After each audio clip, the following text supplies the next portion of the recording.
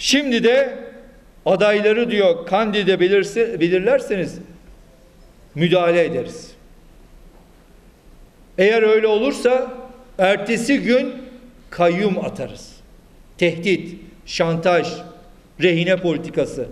Ne ararsanız hepsi var. Tek mili birden hepsi AKP kürsülerinde. Biz seçim sonuçlarına odaklı olarak hareket etmiyoruz.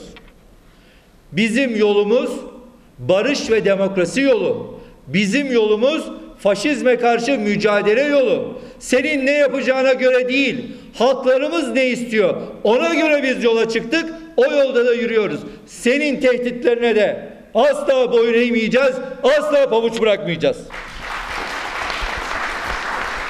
Sanıyor ki bu tehditleriyle halk sandığa gitmeyecek, oyuna sahip çıkmayacak. Sen onu oy mu sanıyorsun? O irade irade. Siyasi bir iradedir o. O 40 yıllık bir irade. Bu halk kimleri gördü? Kimler geldi? Kimler geçti?